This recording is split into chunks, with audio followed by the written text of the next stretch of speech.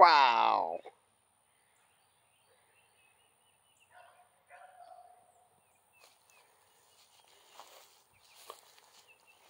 What if he cornered that bunny poo-poo?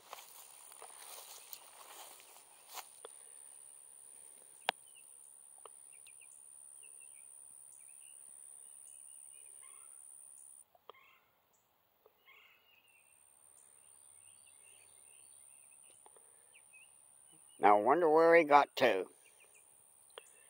On that note, you all have a blessed day.